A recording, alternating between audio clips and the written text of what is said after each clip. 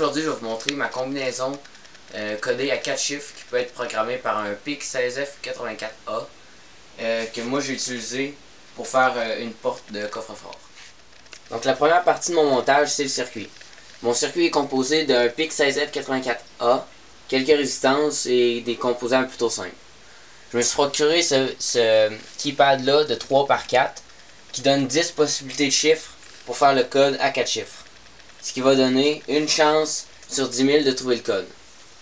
L'étoile ici sur le keypad sert si on veut changer le code, on entre le code, on clique sur l'étoile et on va pouvoir changer le code. Le carré ici sert pour entrer le code. Donc si on rentre le code par exemple, 1, 2, 4, 5, on fait entrer, ça allume pour indiquer le code est entré. Ça allume un relais pour mon deuxième montage de circuit. Mais si on veut changer de code, on rentre le, premier code, on clique sur l'étoile, la LED ici elle allume pour indiquer qu'on veut changer le code. On rentre le nouveau code, par exemple 1, 2, 3, 4, on pèse sur le carré, puis il faut le confirmer une deuxième fois en l'entrant une deuxième fois, donc elle éteint pour dire que le code est entré. Fait qu'on va faire un exemple, 1, 2, 3, 4, carré, le nouveau code, c'est rendu 1, 2, 3, 4. Donc comme vous voyez, mon circuit est très simple. Il nécessite seulement les composants de base pour faire marcher mon pic, un oscillateur de résistance, un transistor pour actionner le relais que je vais que je vais vous montrer dans mon deuxième montage.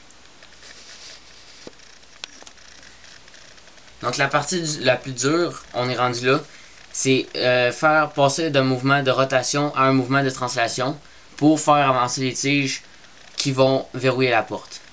Donc je suis parti d'un moteur 120 volts, comme ça, très puissant. Euh, j'ai utilisé un système à bielle manivelle qui transfère l'énergie euh, du moteur de rotation vers translation. Comme là, je vais, euh, je vais faire le code. Vous voyez, ça fait seulement un demi-tour pour que les tiges y avancent.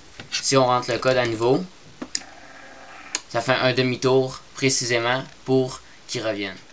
Donc euh, j'ai installé ma, porte de coffre-fort à l'endroit où je voulais. J'ai fait euh, un côté pour que mes tiges rentrent dans chacun de leurs trous pour verrouiller la porte. Donc si je rentre le code, ça ouvre parce que mes tiges, à cause de mon système, euh, ils sont, actionnés vers l'intérieur. Ma porte peut ouvrir. Si je referme ma porte, je rentre le code. Il referme, puis il est. Donc, euh, comme vous avez vu, euh, lorsque j'ai ouvert ma porte, euh, les lumières à l'intérieur ont allumé. J'ai installé 4 LED pour que on puisse mieux voir. J'ai installé du courant. Puis, comme, comment que ça marche, c'est que j'ai juste mis un interrupteur ici. Ce qui fait que quand la porte ferme, les lumières ferment, puis lorsqu'on ouvre la porte, les lumières allument.